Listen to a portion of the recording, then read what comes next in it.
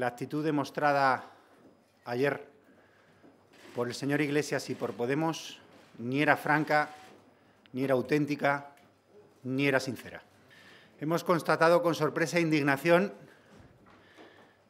que el documento que el señor Iglesias nos entregó no lo respeta ni él.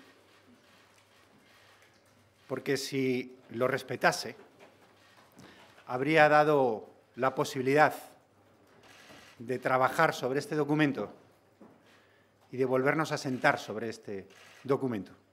A nosotros el señor Iglesias nos ha pillado trabajando sobre su documento porque respetamos más sus propuestas que él mismo, que lo ha utilizado como una simple excusa, como una artimaña.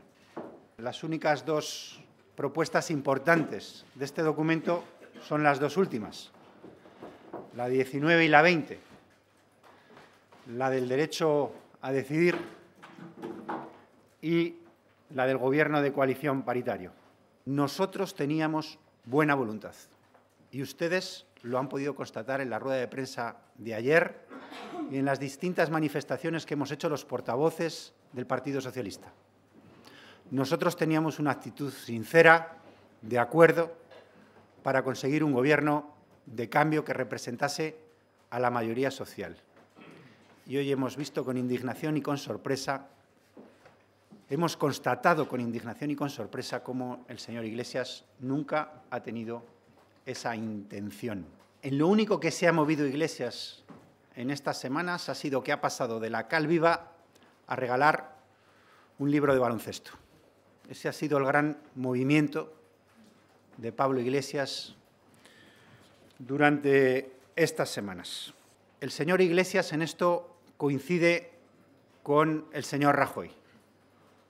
Ambos han estado buscando las elecciones desde el primer día.